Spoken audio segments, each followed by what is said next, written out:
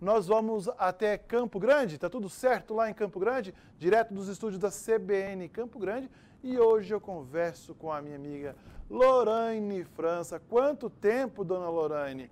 Quais são os destaques aí, direto da capital? Não vá me dizer que você vai trazer informação de violência na fronteira. Bom dia.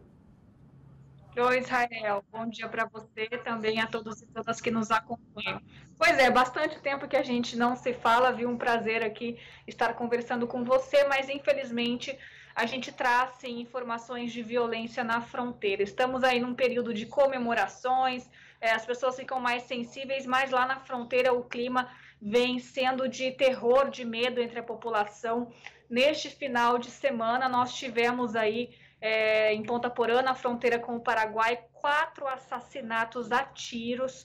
Um homem identificado como Ederson Benites em uma área de invasão na antiga estação ferroviária de Ponta Porã. Segundo o boletim de ocorrência, a esposa dele presenciou o crime. A polícia, é, a mulher contou que o marido não havia dormido em casa e logo cedo viu ele chegando e sendo abordado pelo suspeito que chegou atirando.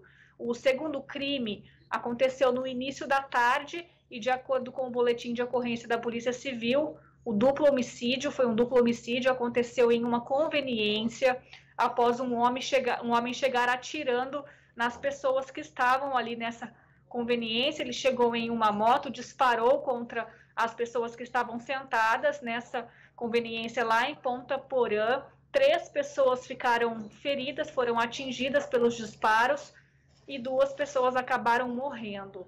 A outra morte aconteceu também no domingo, foi um domingo violento aí em Ponta Porã, no lado, só que no lado paraguaio da fronteira, um casal procurou atendimento médico em um hospital de Bela Vista do Norte.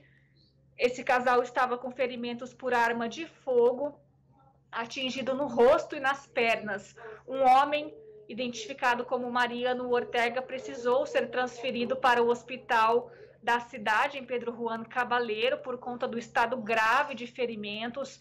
Segundo o secretário municipal de Segurança Pública lá de Ponta Porã, Marcelino Nunes, essa vítima não resistiu e morreu na unidade de saúde. A esposa desse é, homem que morreu baleado aí também foi atingida, ainda não se sabe o motivo, porque esse casal é, acabou aí levando tiros, mas a esposa foi internada no hospital e ainda não temos informações a respeito do estado de saúde. É um ciclo de violência que a gente já vem acompanhando aqui na TVC também. E agora, infelizmente, então, quatro assassinatos em apenas um dia lá na região de fronteira, viu? Infelizmente, hein, Lorane? Que situação difícil lá na... que vivem esses moradores aí na região de fronteira.